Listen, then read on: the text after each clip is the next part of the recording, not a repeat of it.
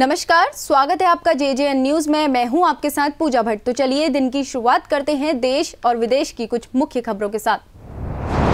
दिल्ली में भाजपा की राष्ट्रीय कार्यप्रणाली की बैठक के आखिरी दिन प्रधानमंत्री नरेंद्र मोदी ने पार्टी के उन नेताओं को नसीहत दी जो मुस्लिम समाज के बारे में आए दिन बयानबाजी करते हैं। साथ ही उन्होंने कहा, लोकसभा चुनाव में सिर्फ़ 400 दिन बचे हैं। ऐसे में पार्टी के हर एक पदाधिकारियों और कार्यकर्ताओं को एक एक वोटर से मिलने उनके दरवाजे तक जाना चाहिए। पाकिस्तान के प्रधानमंत्री शहबाज शरीफ का एक बड़ा बयान सामने आया जिसमें उन्होंने भारत से शांति की गुहार लगाई।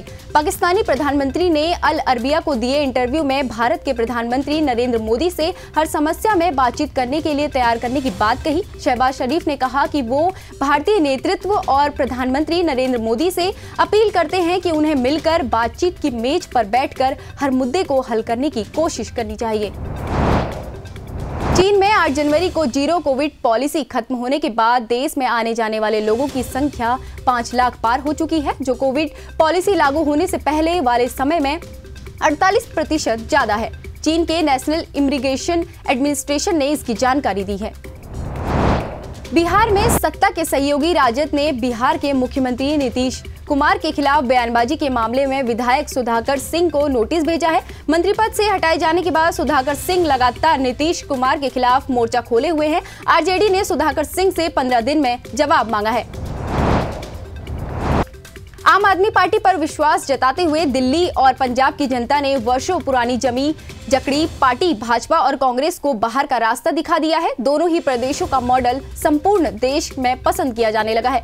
मध्य प्रदेश में भी जनता का विश्वास अब आप से बढ़ गया है। यही कारण है कि नगरीय निकाय चुनाव में पूरे मध्य प्रदेश में आप पार्टी को साढ़े छह प्रतिशत मतदाताओं ने भरोसा जताया। राजस्थान के भ्रष्टाचार निरोधक ब्यूरो एसीबी की जयपुर टीम ने दो करोड़ की रिश्वत के मामले में अजमेर की बड़ी कार्रवाई की है। ऐसी ही नहीं, एसओजी की एडिशनल एसीपी दिव्या मित्तल को अजमेर स्थित उनके निजी आवास पर तलाशी लेने के बाद गिरफ़्तार किया है।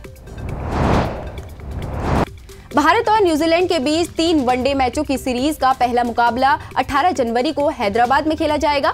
एक दिवसीय सीरीज़ में दोनों टीमों के बीच रोमांचक मुकाबले होने की उम्मीद है। भारत ने हाल ही में श्रीलंका को वनडे सीरीज़ में तीन शून्य से क्लिप स्पीच किया था। उधर न्यूजीलैंड की टीम भी पाकिस्तान को हराने के बाद भारत दौरे पर पहुँची है। भारत में इस वक्त कड़ाके की ठंड पड़ रही है। मैदानी इलाकों से लेकर पहाड़ी राज्यों तक मौसम की मार पड़ी है। हालाँकि मौसम विभाग ने बताया कि कल भारत को कब शीतलहर से राहत मिलेगी। इसी के साथ मौसम विभाग ने बारिश का भी अलर्ट जारी किया है। फ़िलहाल सुबह की मुख्य खबरों में बस इतना ही। बाकी की तमाम खबरों के लिए आप देखते रहिए जे जे न्यूज़। धन्यवाद।